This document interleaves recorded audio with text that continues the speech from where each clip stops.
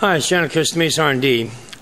Well, today we have a piston sitting here on our mill, and we've chosen this piston to uh, go into a Chevrolet 292 block, which is an inline six, and it was a truck motor not found in passenger cars. And this particular engine we're going to be building up for a land speed car, and we have to modify the piston a bit. And as you can see, we've got a hyper-eutectic piston here. It's coated. But we need to reduce our uh, compression distance, which is from the center of the pin to the top of the piston here, by about 100 thousandths. I'm going to show you how that's done. Well, you might be asking yourself, how do we uh, hold this piston to our table here? Because uh, can't hold on to it from the sides. Well, I've uh, made up a little fixture that I use on doing jobs like this. Uh, one side goes in the other, and you bolt this down. Uh, let's see if we can get this to work here.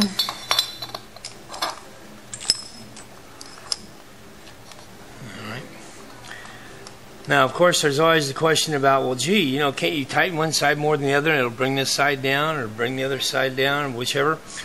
Yeah, that's that's true, and we have to actually align the piston to our cutter here.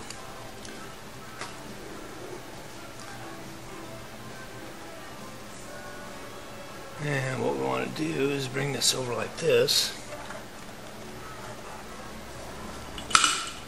Move our cutter so that it's going to be about in the middle of the piston.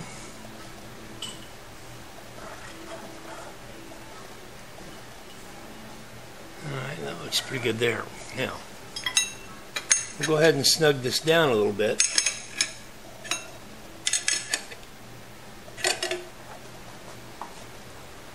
And then we'll turn this on, and we'll actually see which side it's going to cut from. And then we'll squeeze this thing up or down, depending on which way it's going.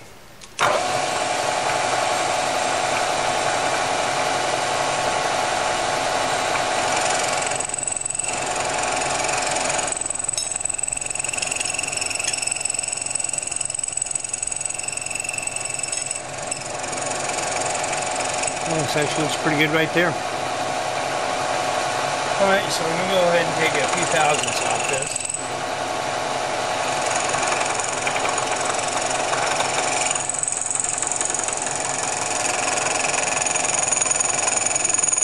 Like I said, we have to take a total of uh, 100 thousandths off. So we're going to do this in several steps.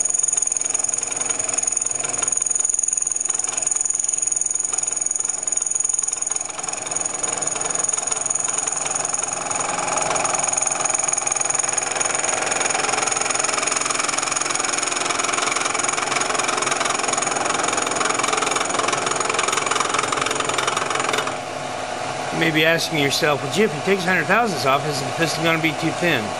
Not really, because this thing's about 350 thousandths crown thickness.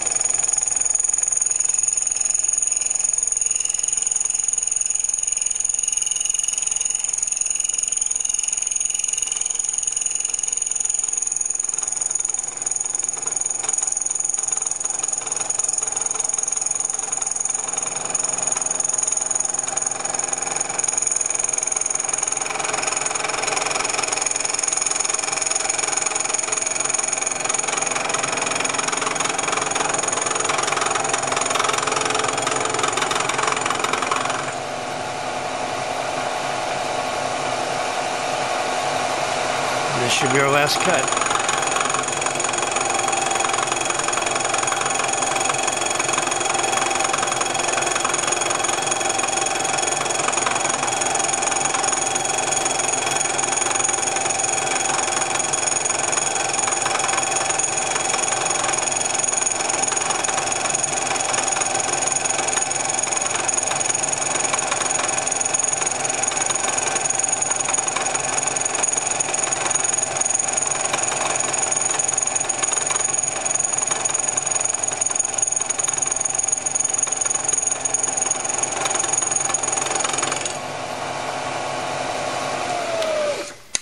That's our hundred thousandths reduction. Uh, you may be wondering what we're going to do about this edge here. Well, we'll take this over to our wheel on the uh, grinder and uh, buzz it off with one of the uh, Scotch-Brite wheels.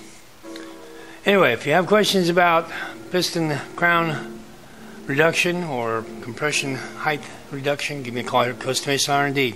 We'll see you soon.